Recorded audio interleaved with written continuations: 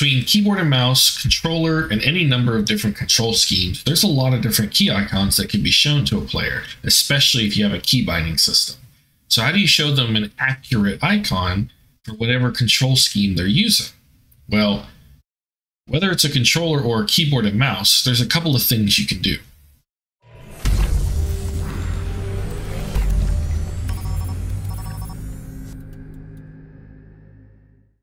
So how do we actually get this set up? Well, first, let's take a look at an example of what that actually looks like in game. So if I've got my controller here, and I go ahead and I move within the range of docking, it's hold A to dock. But let's say I move outside of it and instead I'm on my keyboard and mouse. Well, now it's hold F to dock. So how do we actually accomplish this? Well, first thing we're going to want to do is create a couple of different systems, starting with the UI macro library. How do you actually create that?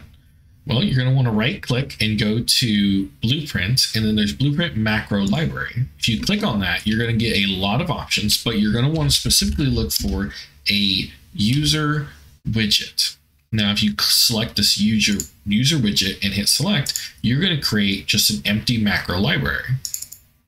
From here, this is where we create three different functions. Now, these three different functions exist for different reasons. Both of these use the gamepad in some way, and so we'll talk about that one first.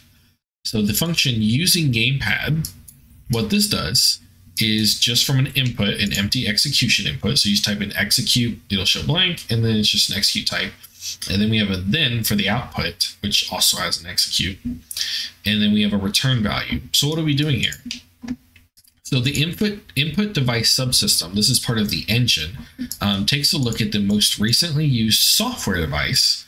Uh, sorry, most recently used hardware device, and then we're going to break that into this right here. What this is doing is this is basically your most recent hardware. What are some identifiers about it? So it's got an input class name, hardware device identifier, primary device type, and then supported features mask. And then from here, um, we just take an enum to string and plug this directly into a contains. And from here, we're searching with a substring of gamepad. Now what this does, this this macro basically, if we come in here into the button press, this macro just returns a true or false as if we're using a gamepad. Now created as a macro because there's a lot of different places you could want to use this gamepad. Um, you can also use it technically in blueprints, but because this is a user widget, if you want to use this style macro, you're going to want to create a macro library based off of an actor probably, um, or something to that effect. So let's go ahead and um, then move on and take a look at the other um, functions we have here. So we have set key texture and set key texture all. Now the difference here is set key texture is for when you are doing one specific item, uh, say on your UI as I have here, we're, we're doing a widget that's just displaying a single button. Set key texture all is for when you're doing things like key bindings, where you care less about if it's a gamepad or uh, mouse and keyboard, and you just want to set out all the key textures, uh, just depending on what you actually get back. So let's go look at the set key texture, because that one's a little simpler um, to understand. So for our macro here, set key texture, we've got an execute pin, just like before. We've got a key, and this is of type string. And we've got a key icon texture, texture 2D. Now, what these actually do is these actually are what we're going to use to set up our keys. Um, so I'll show you here in a second. And then we have an output of then. Um, so if we come in here, we're going to call that macro we created earlier using gamepad. And we return a true or false boolean. So what this is doing is it comes in here and goes, okay, are we using a gamepad or mouse and keyboard? If we are using a gamepad, we're going to come up here and we're going to do a switch on that string based on the possible gamepad inputs. Now, this is all the inputs that I'm currently using. I believe this is the majority of them, and I also included here the Steam Touch 0 and Steam Back um, and Steam Back left and right. Um, and you can also have a default. What we're doing is we're going on switch, and I'm manually going in. All you have to do to do this is just right right click, do switch on string, um, and then from here you just have to add all of your um, pin names. At first, they you know they're blank, but you, you'll go in and add all those. Um, it does take a bit of time, and this way is a little bit more manually. um, than the common UI way, but we're avoiding common UI for now because there's a lot of changes that are happening um, and it's still kind of an in beta kind of system. And this way will always work no matter what, um, unless they make some pretty big overhauls to the way switches work, uh, which I highly doubt. Um, this will continue to work for the foreseeable future. Um, so from here, once we've got this split out, each of these pins goes to a very specific um, set texture 2D object reference by ref. So what is that? So when you pull off of your macro, this key icon texture, this texture 2D, what it's asking for here is an actual reference to that um, texture 2D. The cool thing is that works with any texture 2D. Um, so long as it is a texture 2D, you can pass in this key icon to it. And so we just set the texture by ref. So we grab that ref from the input and then we set it to the value. So for me, every one of these um, strings matches with a value here. So let's actually go here and browse. And you see here, I've got all my buttons. So within here, I go through and I've set up every single one of the buttons um, to be associated with a specific string. And then it goes to the output. And then I do the exact same thing for the keyboard and mouse. It goes through every single possible input that I want to allow players to, to change to and I do have defaults set up. Now these defaults I have set up, I'm using a warning image so that if players change the keys to something that I don't want to have, but I've somehow forgotten to include it in the exclude on um, the actual widget key binding, um, they'll actually pop up with a warning. That way it kind of gives me that extra layer of like players will see this and know it's something that shouldn't be happening. Um, usually they'll report as bug or you might catch it in your own playtesting. Um, but we do basically the exact same thing, but with the keys that are actually meant for mouse and keyboard. So if we grab one of these, you see, got all these different keys set up for mouse and keyboard. Now, um, from here, these all plug into the output, and um, this is one of the macros we're going to use here in a little bit. Now let's take a look at set key texture all. Now it works exactly the same way. Um, there is one minor difference here though, in that um, on the inputs, we have an extra input on is gamepad key. And the reason why we do it this way is because um, what this is going to do when you're doing um, setting up your key bindings, you're showing the key image based on if that key itself is a gamepad key or um, if it's a mouse and keyboard key versus the other version is what the player's actual key is using. So if the player's using mouse and keyboard or using controller versus this is for is that input button a mouse or a controller input button. It'll make more sense when I show you it here in just a second. Um, but yeah, and so from here, it'll pass either the exact same way it's true or false. It'll go up here if it's true. It'll go down here if it's false. And then from there, you do those same exact strings. So it's almost an exact copy. In fact, if you set up your set key texture first, you can then copy and paste this over and then make these tiny tweaks and use it just the same way. So let's actually take a look and let me show you why we have that second one there. So we go to our settings here and go into key bindings.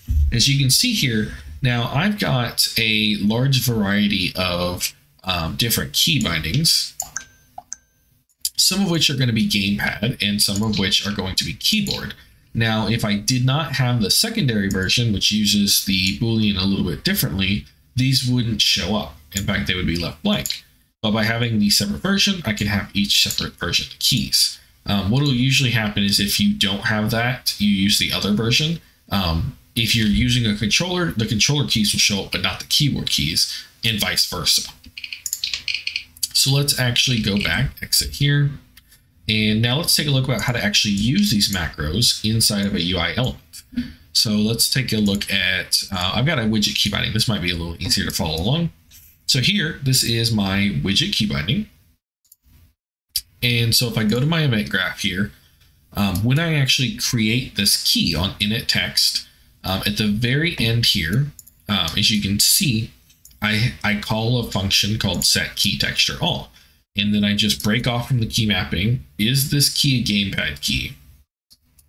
And then I take the key display name and pass it in as a string.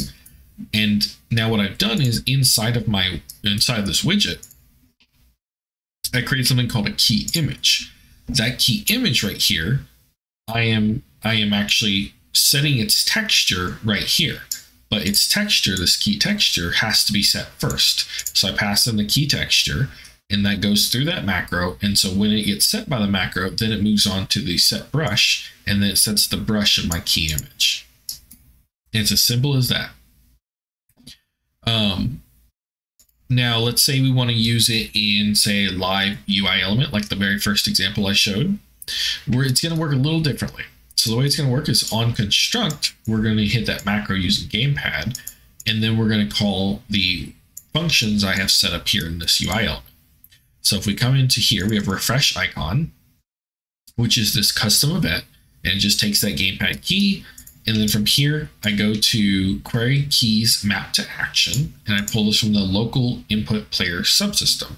Now, what you're going to want to do is, if you're going to want this to be a reusable widget you can use in many places, um, you're going to want to pull off of this action and promote it to a variable.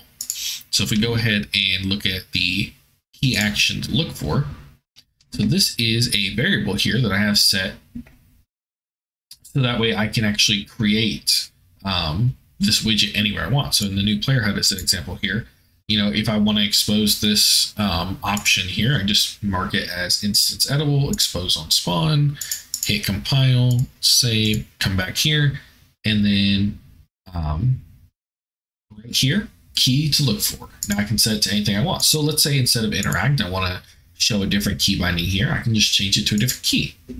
It's as simple as that. Um, now let's go back here. So now that we've got this part set up, we're going to loop over every single key um, that are mapped to this action, which there's going to be a couple. There's going to be the gamepad key and there's going to be the mouse and keyboard key. Now, basically what it's doing here is it's comparing this.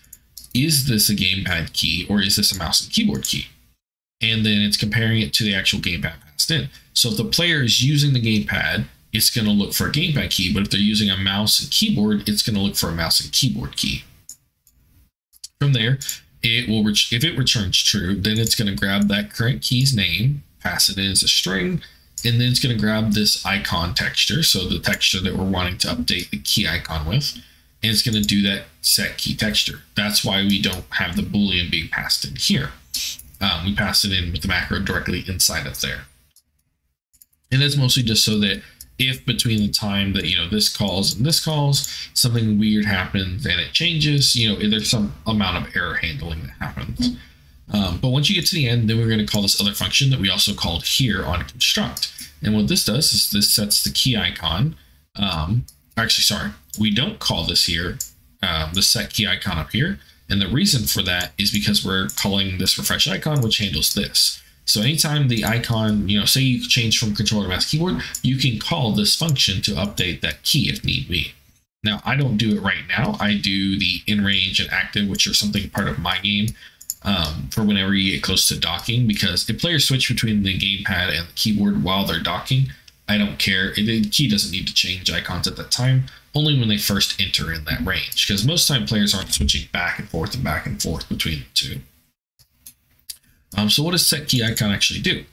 All it does is it takes that texture icon we have there, and so long as it's valid, um, so after you pass through that macro, it should be, and then it just sets the texture to the brush that is actually part of the key icon, so the actual uh, image that is right here. And once that's done, now that icon's been updated, so now it'll switch. And that should be pretty much everything you need to get up and running. If you have any questions, definitely leave them down below. But otherwise, good luck and good hunting.